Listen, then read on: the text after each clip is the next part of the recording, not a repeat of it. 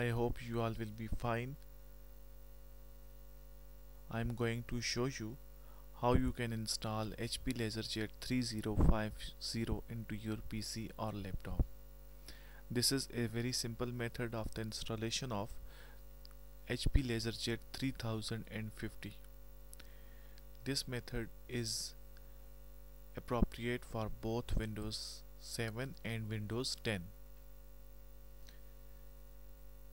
it is a very very simple method for this. First of all make sure that your printer is turned on and it is connected with your PC then click the start menu button.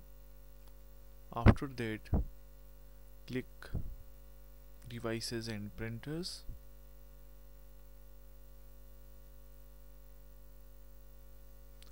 Then go for add a printer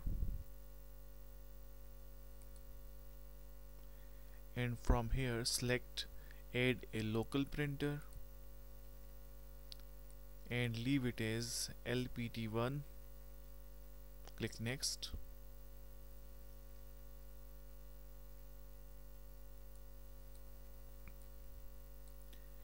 And from here you can search for HP LaserJet 350 3050 if you do not find this driver in this list you can hit the windows update button. It will take few minutes and your list will be updated. After that you will be able to see this printer HP LaserJet 3050 in this list. When your list is finally updated then select the manufacturing company HP and then search for the printer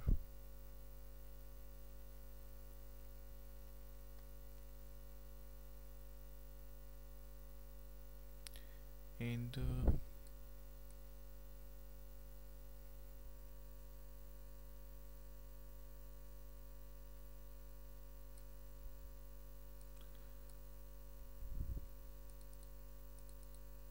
here it is.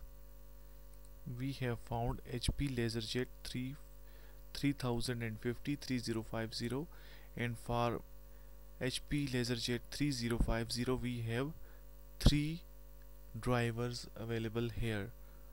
One is PCL5 HP other is PCL5 Microsoft and the third one is 3050 PS PCL and PS both are the printing languages. PCL is the abbreviation of the print control language and PS is the abbreviation of the PostScript language.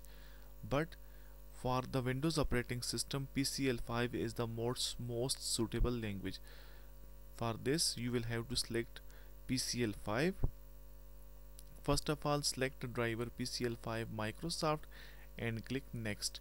If this if this driver does not work for you then go for then delete it and go for the other driver which is PCA HP LaserJet PC, HP LaserJet 3050 PCL 5 HP then you have to click next I am not clicking next because I have installed my desired printer and I and I do not need this printer. Thank you guys. Thank you for your time. Goodbye